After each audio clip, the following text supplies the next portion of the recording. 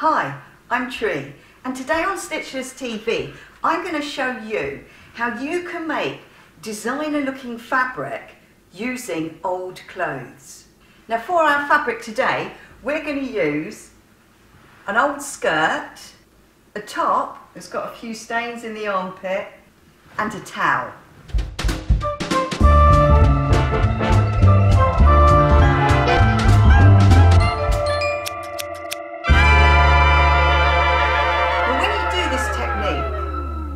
It's a good idea to use fabrics that are of the same colour but different textures. So to begin with, we need to deconstruct our garments and, and bring them back to being pieces of fabric. Now for speed purposes, I'm not going to unpick this. But usually I would. I feel bad cutting through it, but I'm going to go for it. So I'm going to cut up the back seam. Now whenever I cut up clothes, it does give me a bit of a horrible, resistant feeling. But you just got to be confident that what you're going to end up with is going to be nicer or more wearable. You get more use out of it. So I've just cut up the back seam there, but I'm not going to cut through the top yet. And then I'm going to cut as close as I can to the waistband, but I'm not going to cut on top of the waistband because I might use that for a collar later on. So I'm just going to cut a little bit away. Now my skirt's got these box pleats which open out. So I'm going to go all around the waistband and just chop it off. So after cutting off the waistband and cutting up the, the back seam, now I'm saving this zip because it's a nice zip, nice zip and I'm saving the waistband because I know I can use it as a collar. So you end up with this. Now I did undo the hem because it was very easy to undo because it had a fine uh, thread blind stitch. So the next thing that I would say is I want to get the fabric into some sort of squares or rectangles. So I need to pay attention to the grain. And if you've got some sort of set square where it's easy for you to square off edges, I think you should get it out now. But I'm going to use this cutting mat as a guide. So look, I haven't cut off the pockets yet because I don't quite know what's happening yet with them. But what I do know is that I need to get the fabric going down the grain and squared off a bit. So the first thing I'm going to do is just cut down here. Now obviously I should be using this cutting mat as a cutting mat and maybe I should be using a roller blade. So all you quilters out there will be like, what? So I'm going to do the same on the other side as well. So that's one piece. So I'm going to fold that over, put it to one side for now. Now let's look at the, the back of the skirt. So the back of the skirt is, is going out in a kind of A-line shape. So if I just, I know that the centre back is going to be straight and down the grain. So I'm just going to see what happens if I just fold it over. Does that help me? Make it squared off. And then I'm going to cut down there. So these pieces I might use as well later on, but I don't need them at the moment. So I'm going to do that to the other side of the back as well. And start looking um, at how you might, the proportions that you might put your fabrics together from, from the other pieces of clothing. So at the moment I'm thinking, well at this stage, do I want them to be this wide or do I want them to be different widths? So I'm just kind of thinking about that at the moment. So when I do a project like this, I'm very attentive to any details that will be on any of the clothes or pieces of linen that I'd use. And so there's one that's particularly screaming out at me at the moment, which is this lovely piece here. So before anything else, I'm going to cut a seam allowance away from that, that detail so it does appear at both ends of the tail, so I'll do it the other end as well. So look, these two pieces are really very nice with the stripes on them. So they're almost like haberdashery now. So I won't be incorporating them, or I don't know, or maybe I am, in making our designer fabric because I might use them on the finished garment afterwards, but I'm not sure yet because I'm making it up as I go. So I'm going to put those to one side. Now also, the edges of the tail are too good to be missed because they've got a nice finished off edge on them. So they might end up becoming a, a frilly bit of haberdashery as well. So I'm going to put those to one side at the moment too. Now also, I want to think about the proportions. Now it is probably, it's not all going to be strips it's all going to be like chopped up and turned around and stuff like that. But something else to think about is, you know, do I want do I want the width of this to be exactly the same proportion as the kind of brocadey fabric, or do I want it to be different, or do I want it to be random? So that's something that I'm going to go away and think about now. This is as far as I've got with this. so I thought maybe we should start looking at the, the blouse. Now, when I do frills, I usually use thin fabric, fold it over so I don't have to finish off the edge because that's quite time consuming. And I think what I'm going to do for this is not put them in the full length of it, maybe. Put it sort of ran randomly here and there in the seams. So I've cut down half the width. So by the time I gather it, and I will show you that, by the time I gather it and I trap it in the seam, it's going to bring a really nice bit of detail, look.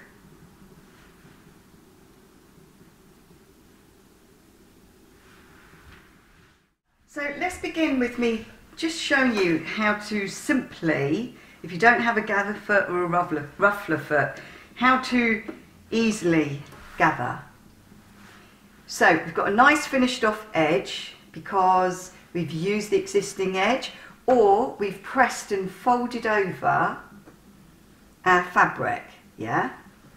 So you want to be like a seam allowance away from the edge and you do not go backwards and forwards. You sew, oops, coming down your fabric now this doesn't need to be really precise. You're not actually making a garment yet. so you sew all the way down using your largest stitch, straight stitch.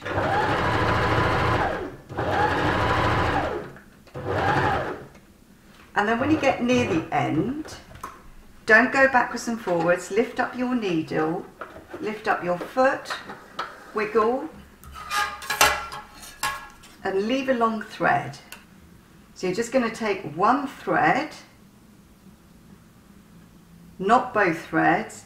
You're going to ease your fabric a bit and push it along like that.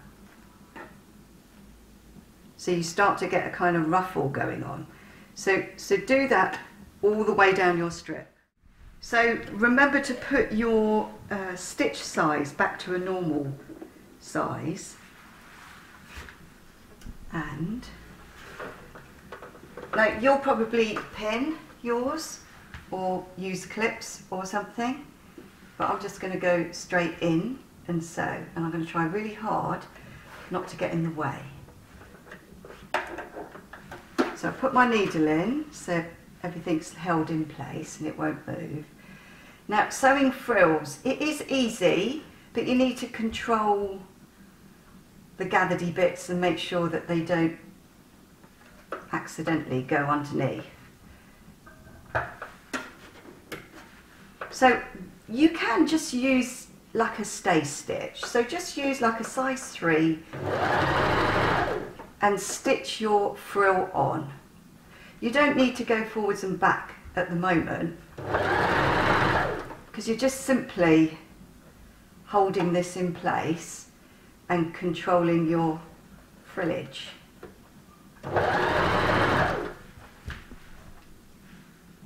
So you see how I'm like fiddling about with the frills because they kind of want to tuck underneath.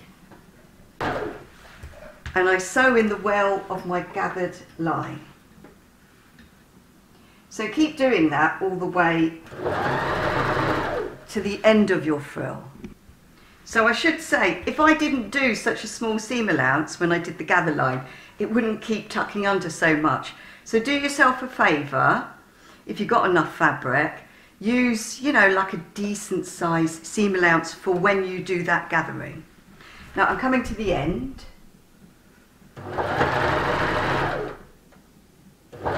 And I don't need to go backwards and forwards, but I will. So line up your fabrics and put them right sides together. Now, because I am sewing with this um, toweling, toweling fabric, I am going to need a bit of support with, pins or clips. So I'm just going to go and find mine. So when you're uh, pinning, I'm pinning um, the toweling to the fabric, make sure you squash that frill out of the way, make it be all nice and flat underneath, and get your pins if you don't know this already, to go in horizontally so you can easily take them out and also so you can sew from the other side as well actually. Put the last one in there. Now sometimes what I say is if you're sewing two different fabrics together it can be a good idea to do a slight zigzag stitch like you would with stretch fabric. It really does seem to help. But in this situation, I think I'm just going to use a medium size straight stitch. And I think I'm going to put the toweling on the bottom for two reasons. One, because it's tricky to sew and it might get caught underneath my sewing foot. But also so I can see the line of where I, I stitched the frill on. So let's see how we get on. I am going to go backwards and forwards now. So that does seem to be okay. Look, because I did them horizontally, it doesn't matter which side I pinned because I can see them and I pull them out before I get to them. And when you sew different fabrics together, you usually have to do a little bit of like easing you know, and planning before you actually stitch the bit to make sure that it fits. But this isn't too bad, so I think that's probably a good tip to put your tricky fabric underneath and just pretend it's not there.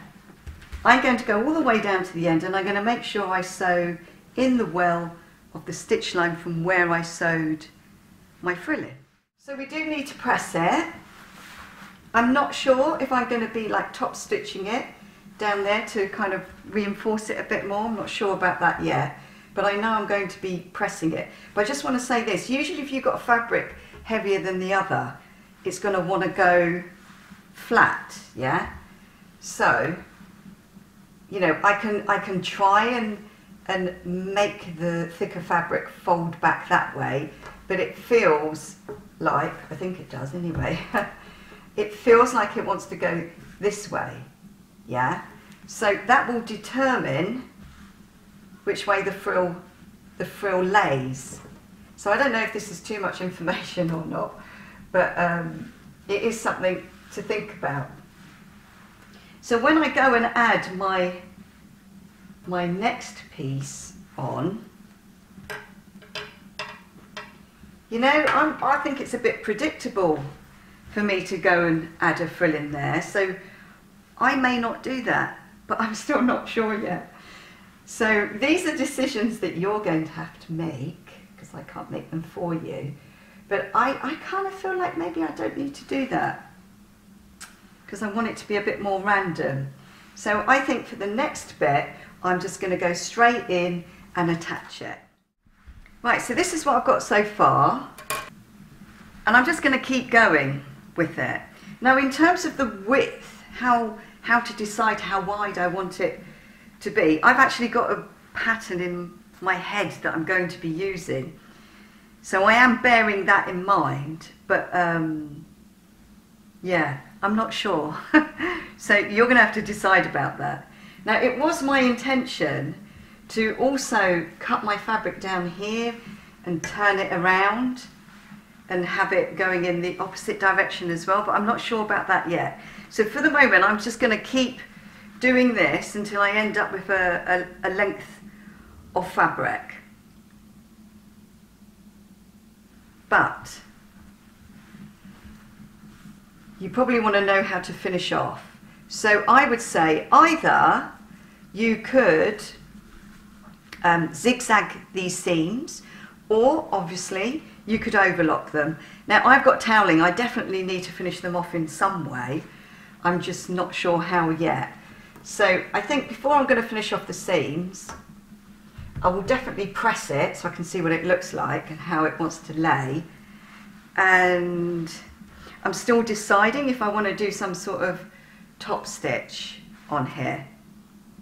So just keep going. Do what we've just done and just keep going.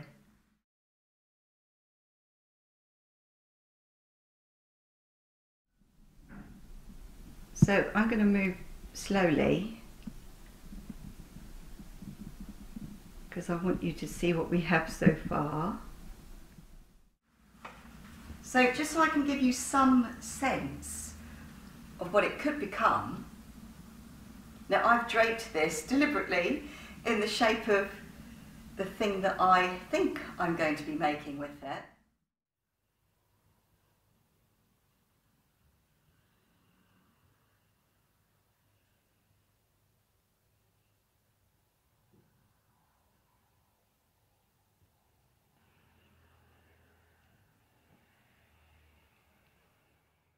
Thank you so much for watching. See you again very soon. Right, got to finish this now. Bye.